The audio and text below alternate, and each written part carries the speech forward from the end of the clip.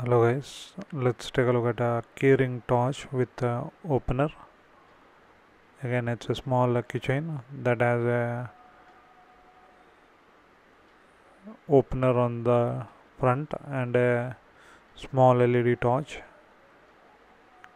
That's the button. When you press it you get a quite a bright light as you can see.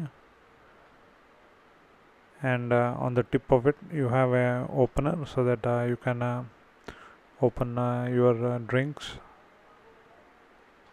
All uh, in a quite a small portable package costs around a dollar or so or uh, 60 rupees.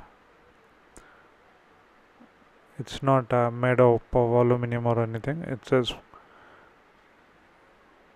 kind of a coated uh, steel kind of a thing. But uh, still quite strong. It should work well with uh, bottles. And the LED is also quite uh, bright. Quite a nice keychain.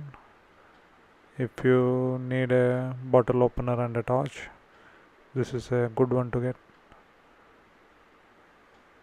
Quite well made. Nice one. Check it out